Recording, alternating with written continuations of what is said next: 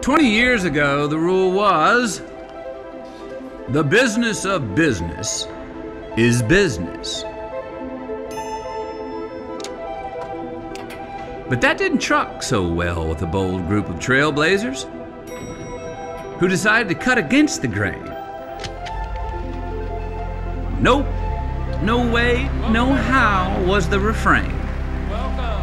You see, something's missing from this equation. Now's the time to rise from this fever dream and let ourselves renegotiate the non negotiable.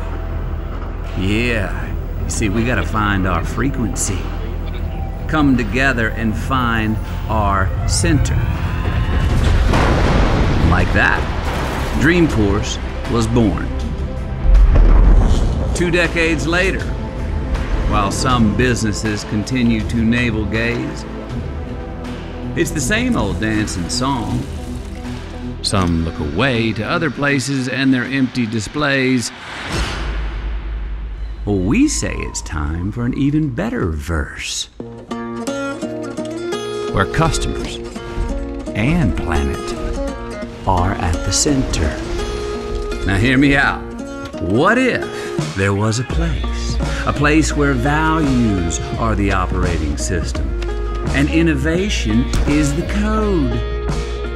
A place created by and for trailblazers, where there's always a seat at the table for the willing and the able a place where trust is earned at hello and howdy. Empowered with the platform to navigate the horizon of a new economy, connections become magical, genuine, one to one, not one size fits all, so that relationships run deep and bloom into wow.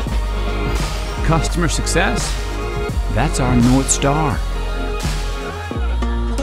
Paradise once lost, is found. No, you see, the business of business is so much more than business. I want to thank you all for making this world better, for coming together and always finding our center. Those are green lights up ahead, Trailblazers. You see them? Mm hmm. Let's go out and catch them.